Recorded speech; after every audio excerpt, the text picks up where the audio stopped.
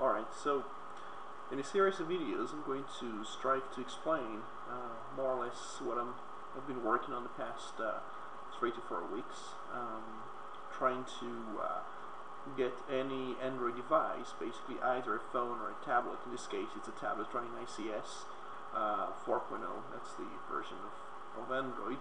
It's the latest one, actually it's 4.0.3, which isn't exactly the important thing, kernel 3.0 of Linux. Uh, and this is running a um, what's called developer um, developer mode. Uh, the tablet, as you maybe can see, if I can find it correctly, here at the top, it's getting it's got some uh, uh verbose uh, messages from the kernel, so I can get uh, to see what's exactly is going on. I'll get some applications installed. I, obviously, that's just a you know, classic type of for Android. But that doesn't matter. I'm, I'm not going to concentrate what happens on the platform itself.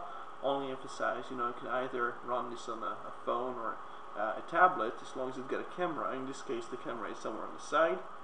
It's a VGA quality camera. Now you might ask why not something of high resolution? Well, we could use that, but you know, if we work in very high resolution, it's just going to slow things down. So I didn't think it was very crucial for this, the purpose of at least testing initially, to get a very high resolution uh, device, such, such, as usually a phone, you know, high definition cameras, you know, 10 megapixels or whatever. So uh, in the next few videos, uh, we'll try to go through the program I've been developing and demonstrate it uh, in front of the computer.